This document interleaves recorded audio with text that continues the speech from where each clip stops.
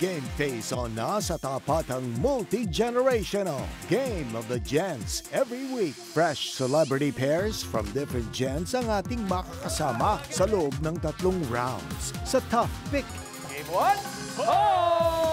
Pipili ang contestants mula sa three choices ng tamang sagot. Sa Match Better, ima-match ng players ang magkapares na word sa bawat column. Tutuloy ang pair with more points sa list mo na yan round at pipili sila ng 10 correct answers from 15 choices. At lahat ng makukuhang cash prize ng winning team ang kanilang iuwi. Game of the Gents. Simula ngayong araw ng mga puso sa News TV.